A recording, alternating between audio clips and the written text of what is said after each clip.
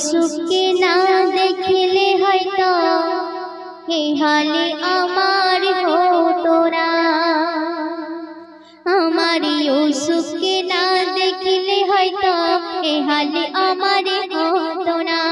রূপ মোহিনী পাগলে রে রূপ মোহিনী পাগলে রে চোখের জলে ভাসতো না রে। এ হালে আমার ইউসুফকে না দেখলে হয়তো এ হালে আমার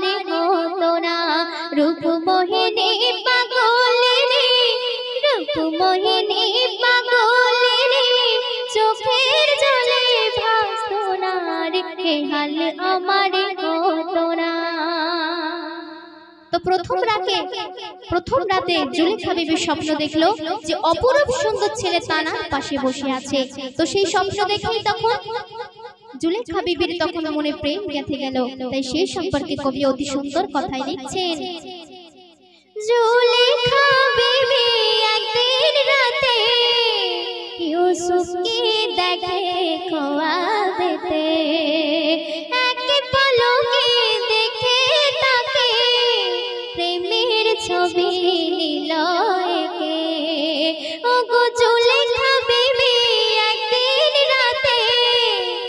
ইউসুফকে দেখে খোয়াবেতে এক পলকে দেখে তাকে প্রেমের ছবি নিল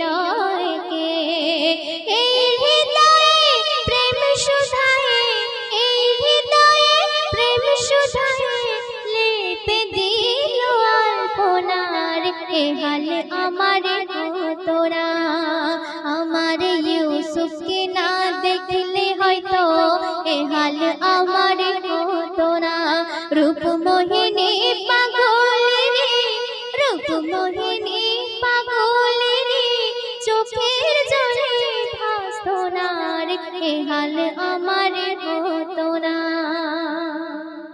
তো তারপর তারপর জুলেখা বিবির সাথে আজিজের বিয়ে হয়ে গেল।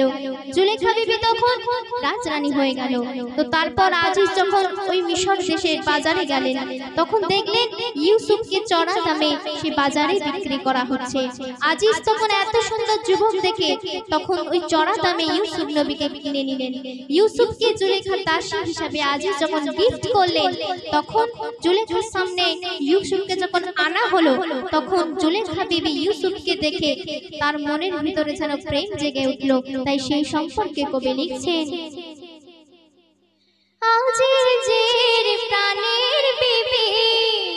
দেখে আসমানি রবি, তার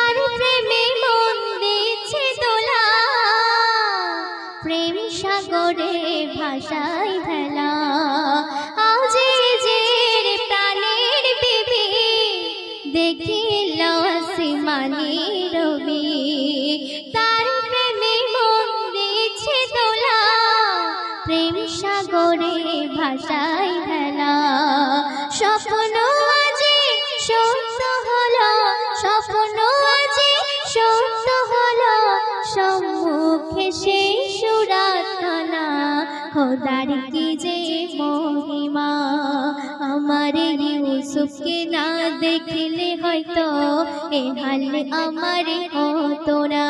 রূপ মোহিনী পাগলে রূপ মোহিনী পাগলে, চোখের জলে ভাসতো এ হাল আমার হতো না।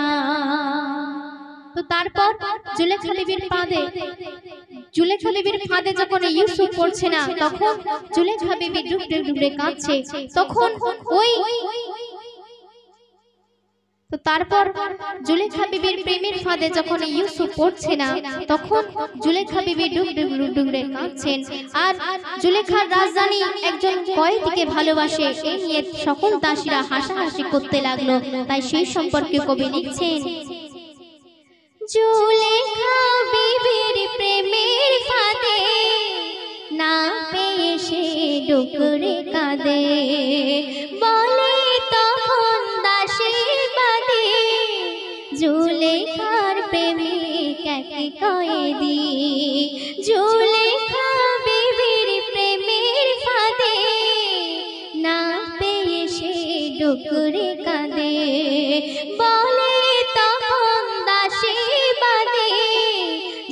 জুলেখার প্রেমিক একই কয়েদি। হাসা হাসি করছে তারা হাসা হাসি করছে তারা, সবার মুখে আলোচনা। প্রেম নয় তো হাতের খেলনা, আমার ইউসুফকে না দেখলে হয়তো এ হালে আমার হতো না। রূপমোহিনী রূপমোহিনী পাগলিনী চোখের জলে ভাসত না রে হাল আমার হতো না। তো তারপর বিবি জুলেখা যখন ইউসুফকে রাজ দরবারে ডাক দিল, তখন সব দাসীরা ফল কাটার জন্য তারা বসেছিলেন। তখন এই ইউসুফ নবী যখন তারাদের সামনে দিয়ে মাথা নিচু করে হেঁটে হেঁটে যেতে লাগল, তখন সকল দাসীরা ফল কাটার জন্য বসেছিল। সেই ইউসুফ নবীকে দেখা মাত্রই তাদের হাতের আঙুলকে তারা কেটে ফেলল। যখন জুলেখা বিবি জিজ্ঞাসা করছে যে, ও দাসীরা, তোমরা তো আমাকে দিয়ে, আমাকে নিয়ে তোমরা হাসাহাসি করছিলে যে আমি একটা কয়েদিকে ভালোবাসি বলে, তাহলে তোমরা নিজের হাতের আঙুলকে কেন কাটলে তখন দাসীরা কি বলছে জানেন বলছে যে, না, ওই জায়গায় যদি আমাদের হাতের আঙুল না থাকতো, আমাদের যদি কলিজাটা থাকতো, আমাদের কলিজাটাকে কেটে কেটে টুকরো করে দিতাম। তাহলে আল্লাহ পাক ইউসুফকে কতটাই না রূপ দিয়েছে, তাই সেই সম্পর্কে কবি লিখছেন দাসী বাদিকে রাজে দরবারে ফল ছড়ি দিল সবারে। সামনে দাঁড়ি করাই ইউসুফকে। জুলেখা বলে, ফল কাটিতে দাসী বাদিকে রাজে দরবারে। ফল ছড়ি দিল সবারে। সামনে দাঁড়ি করাই ইউসুফকে। জুলেখা বলে, ফলে কাটিতে ও গো সুরাতে দেখে এক পলকে, সুরাতে দেখে এক পলকে কেটে ফেলে আঙুল খানা নজর তো ফেরানো যায় না। আমার ইউসুফকে না দেখলে হয়তো এ হাল আমার হতো না। রূপমোহিনী পাগলিনী রূপমোহিনী পাগলিনী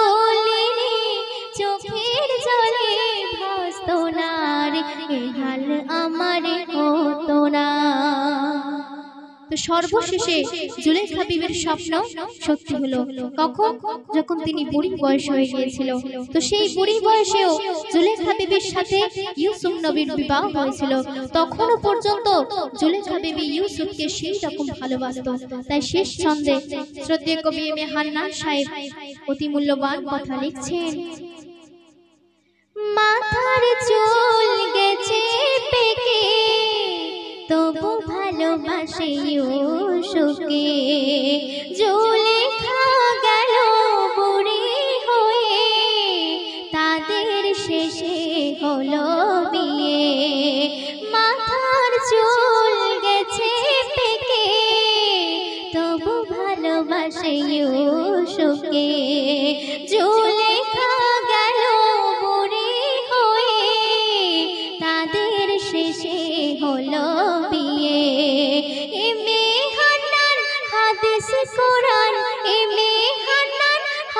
হাদিস কোরআন থেকে কারে বর্ণনা, ইউসুফ জুলেখার ঘটনা।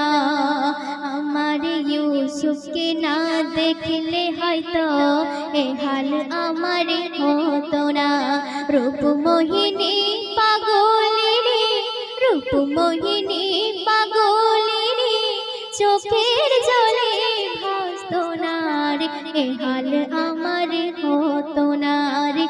চোখের জলে ভাসত না। হাল আমার হতো না চোখের জলে ভাসত না।